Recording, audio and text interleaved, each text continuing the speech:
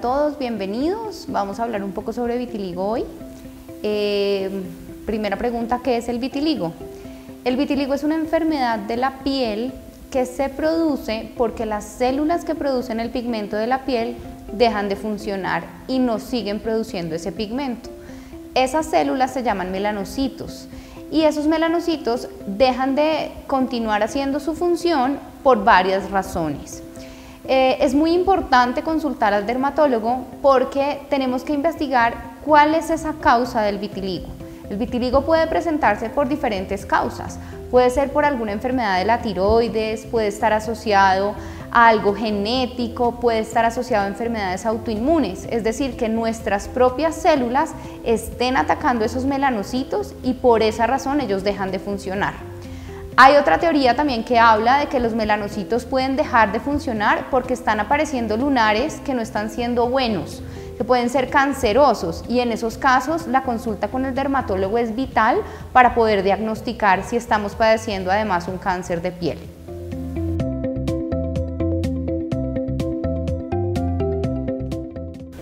El vitiligo es una enfermedad multifactorial, puede tener muchas causas, principalmente se asocia a enfermedades de la tiroides, a enfermedades autoinmunes o algún tema genético, es decir, que tenemos una susceptibilidad especial para producir la enfermedad.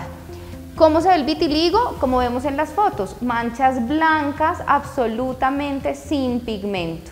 Es muy importante en la consulta dermatológica eh, hacer el examen físico completo para tratar de detectar alguna de estas causas que les mencioné y definir qué exámenes debemos solicitar para buscar estas enfermedades asociadas.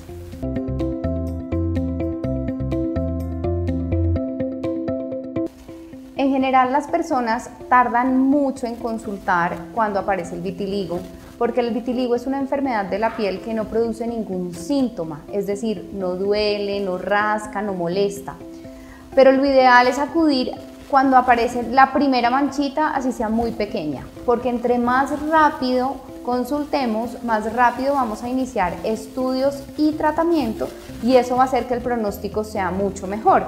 Es decir, que tengamos más posibilidad de detener la enfermedad y de repigmentar las lesiones de vitiligo para que vuelvan a tomar el tono normal de la piel.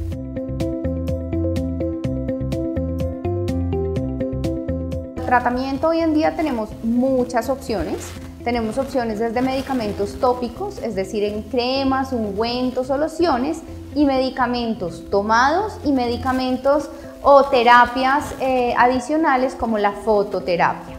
Todo esto toca evaluarlo dependiendo de cada caso, dependiendo de la edad del paciente, de las enfermedades asociadas, pero hoy en día si alguien tiene vitiligo o presenta la enfermedad, debe pensar en que sí hay tratamiento y que debemos recurrir al dermatólogo para poder tener todas estas opciones.